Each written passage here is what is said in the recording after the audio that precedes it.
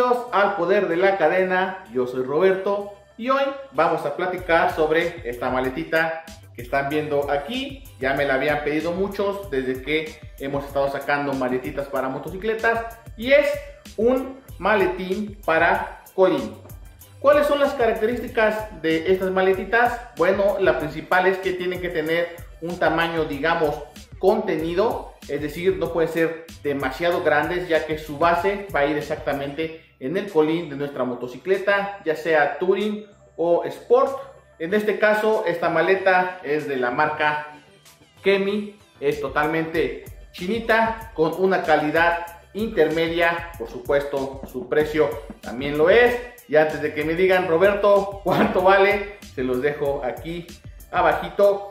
Eh, como siempre, todas estas cosas chinitas que les recomiendo son aquellas que me parecen de una calidad tipo premium o por lo menos aceptable. En el caso de esta maletita no es premium, pero tiene una buena calidad que les va a permitir ocuparla en las condiciones para las que fue creada, que es para su uso urbano o para viajes algo cortitos. No me gusta hablar mucho de capacidades, se las pongo por aquí abajito porque todo eso es relativo, pero ahorita vamos a ver qué tantas cosas le pueden caber, pero sobre todo qué tanto trae. La maleta, así como la ven, así es exactamente como viene, tiene una malla por la parte de afuera en la que puedes poner unas botellitas o algo voluminoso como por ejemplo una chamarra o un suéter. Es de excelente calidad. Tiene una carcasa semi rígida toda la estructura es decir tiene forma propia aunque no esté llena. Esa es una característica importante para este tipo de maletas de colín también conocidas como tailbacks Así que eso búsquenlo cuando vayan a comprar este tipo de maletines. Tienen que tener una forma ya, eh, digamos, preestructurada. En el caso de esta, bueno, todo por dentro y también incluso por la parte de abajo, que es antiderrapante. Tiene un plástico que es lo que le da esa forma. Sus cierres también son de buena calidad. Aquí pueden verlos, vamos a cerrarlos un poco. Se los acerco para que vean son resistentes al agua, aunque por sí sola la maleta no es totalmente impermeable, pero no se preocupen, incluye una fundita para la lluvia. Esta ustedes ya saben cómo funcionan, simplemente se pone encima de la maleta y ya es totalmente impermeable. Esta funda está incluida junto, por supuesto, con sus agarres tiene eh, agarres de dos tipos para estas maletitas. Ese es otro punto muy importante cuando compren una maleta para colín. El tipo de sujeción que tiene. Depende de la marca que compren, puede ser solamente un tipo de sujeción o como este caso dos. Oye Roberto, ¿cuáles son esas sujeciones? Vamos a ver primero la más común que es esta, que son dos cinturones tipo bucle. ¿Cómo que bucle? Bueno, este es un cinturón tipo bucle. Como ven tiene en ambas eh, puntas la inserción que va en la maleta y es solamente una cinta. ¿Por qué es de esta forma? Bueno, es que esto va bajo el asiento de tu moto, ya sea Sport o Touring. Una vez más, puedes emplearla en cualquiera de estas dos motocicletas. Aunque tu moto tenga un asiento Touring muy chiquito, esto va por debajo del asiento de esta forma. El mismo asiento es lo que hace la sujeción. Esto va así, uno, dos y con la otra que tenemos por acá en la parte trasera de la maleta, uno, dos. Este tipo de sujeciones en estas maletitas eh, casi no cambia, es así como lo están viendo exactamente. Lo que sí puede cambiar es el tipo de conector que en el caso de esta maleta me gustó mucho porque es tipo cinturón o tipo clip, como ustedes le gusten llamar. Este tipo de conectores son muy convenientes porque solamente tenemos que hacer clic y la maleta ya queda lista y cuando lleguemos a algún lugar no hay que desamarrar, sino simplemente quitamos el cinturón de los cuatro puntos donde se anclan y retiramos la maleta. Esa es la conveniencia de este tipo de conectores, otro punto por el que yo elegí y estoy recomendando esta maleta, porque la mayoría también tiene eh, los conectores, pero tipo cinturón, que tienes que apretar, como una maletita que les mostré hace tiempo, si no han visto ese video, se las dejo por aquí arribita. Esos conectores también son muy buenos, pero pues por velocidad, siempre los tipo clip van a ser más convenientes. El otro kit que viene con la maleta, aquí está, son cuatro clips, pero en esta ocasión son del tipo individuales, es decir, tipo rock straps. Vamos a verlo, aquí está. Este es uno, aquí no vamos a ver dos puntas, sino una punta y un conector que es este que tenemos por aquí ¿Este cómo funciona? Bueno, si en el caso de tu motocicleta eh, deportiva que eh, en ocasiones tiene el pasamanos o la agarradera para el copiloto, ahí puedes poner este tipo de cinturones que pasa de esta forma y ya mantienes tu maleta sujeta a la motocicleta. Eh, las maletas de colín, como les decía, lo más común es el primer conector que les mostré, que es completo con dos puntas, es decir que esto va abajo de tu asiento, pero también estas son comunes y convenientes, ya dependerá el tipo de anclaje que encuentres en tu moto, pero simplemente se pone de esta forma, se hace el bucle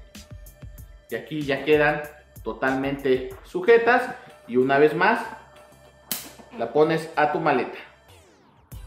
Su anclaje es sólido, los clips, como pueden ver, llevan ahí unos remaches. No se preocupen, por dentro no se ven, pero esto está muy bien diseñado y por supuesto no se va a romper bajo ninguna condición, siempre y cuando pues respetemos eh, los pesos que esta maleta puede llevar. Entre comillas, también no se preocupen tanto por ese tema, es una maleta muy muy resistente. Así es como se ve por dentro, por supuesto viene acompañada de sus instrucciones. Vamos a verlas. Aquí es donde nos explica el tipo de los anclajes que tiene. Aquí podemos ver el que les decía yo, los más comunes en este tipo de maletas. Los cinturones van debajo de el sillín o el colín de nuestra moto deportiva, incluso de nuestra moto touring. Aquí viene otras características de la maleta y aquí también podemos ocupar los anclajes para que se haga un backpack o una mochila de espalda. Volviendo al interior de la maleta, es este que tenemos aquí. Por dentro, les decía, la calidad, si bien no es premium, es bastante buena. Tenemos un pequeño eh, cinturón para sujetar nuestras cosas que no queremos que vayan bailando en el camino. Muy práctico, es elástico. Se ve que es bastante resistente. En la misma tapita tenemos una malla para poner cosas que queramos ahí, que vayan separadas, por ejemplo, de nuestra ropa, algún electrónico o algo de ese tipo. La maletita, les decía, los cierres son resistentes a la lluvia y también tiene para que le pongas aquí un pequeño candadito. Están bastante bien, eh, tienen una calidad, les decía, aceptable. Aquí viene, este sí, para que vean, no me gustó mucho, siento que puede papalotear cuando vas en la moto, pero por suerte también se lo puedes quitar. En el caso de que no te gusten estas extensiones de los cierres. En su parte frontal cuenta con un material de otro tipo que es más suave, acoginado, incluso tiene una malla de ventilación. Esto es porque cuando en motos deportivas con poco espacio o motos touring con poco espacio, por ejemplo aquí mi motito Gixxer, cuando la ponemos de esta forma, esta área va a ir tocando nuestra espalda, por eso es de otro material, más cómodo y un poquito, eh, digamos, eh, repelente al calor. Esta maletita es expandible, así como la estamos viendo es su tamaño natural, pero por aquí tenemos otro cierrecito. Vamos a abrirla para ver qué tamaño alcanza.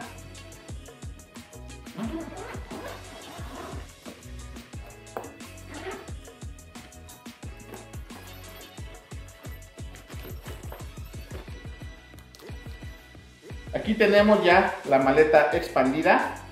Así es su máxima capacidad. Ya se ve bastante amplia como pueden ver. Para un viaje corto o un viaje de fin de semana para el piloto yo creo que es espacio más que suficiente. Contando, recuerden, el espacio interior, el espacio de la tapa e incluso la pequeña bolsita que tenemos aquí que hace de respaldo acolchonado. Vamos a ver si le cabe un casco por acá. Aquí tenemos un casco.